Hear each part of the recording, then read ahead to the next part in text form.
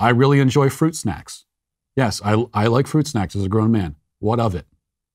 Got something to say about that? I do like fruit snacks. I like the uh, Mott's fruit snacks or Scooby Doo. Don't bring any of that Welch's around me. I don't eat that. But if I bring a box of fruit snacks home, my kids will consume the entire thing, including the box, within an hour. So I have to hide it.